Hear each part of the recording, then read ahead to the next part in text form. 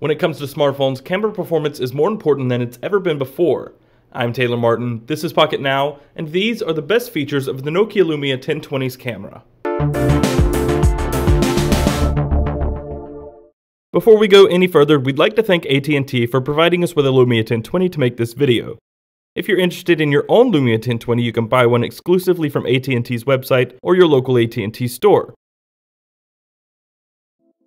For years now, taking pictures with a smartphone has been somewhat of a compromise, taking a hidden quality for the ultimate portability, pocketability. Sure, your DSLR or point-and-shoot camera can take a much better picture than your smartphone, but it's also a burden to look around everywhere you go. Generally, it has been either one or the other, quality or portability. But there's a new kid on the block, a smartphone that offers a much smaller compromise in both size and picture quality, the Nokia Lumia 1020.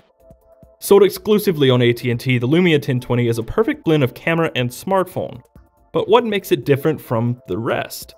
Around back, it has a 41 megapixel sensor, hidden beneath an Oreo-like hump with 5 Carl Zeiss lenses. It's capable of taking either 34 or 38 megapixel images, though you will mostly use the resulting 5 megapixel image. While 5 megapixels may not sound all that impressive in comparison to other phones that take 8 or 13 megapixel images, it actually is. The information from the 34 or 38 megapixel image is packed down into 5 megapixels, resulting in an oversampled picture, a 5 megapixel image with a lot more detail than your run-of-the-mill image at the same resolution.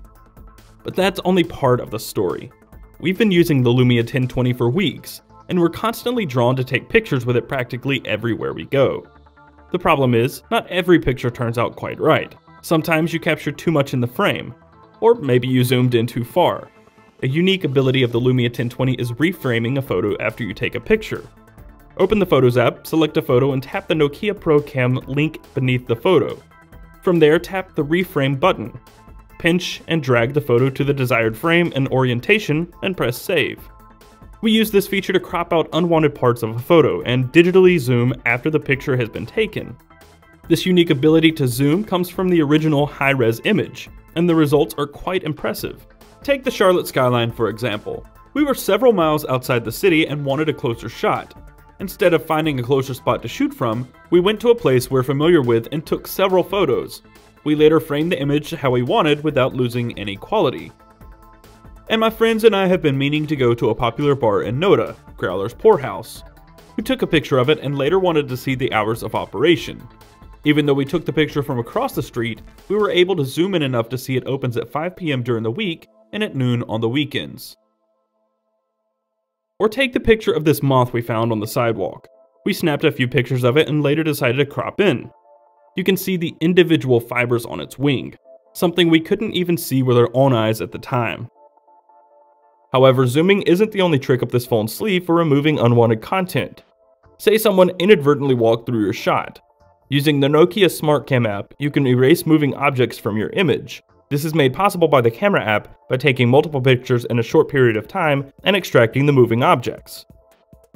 It also performs quite well at night and in various low light situations.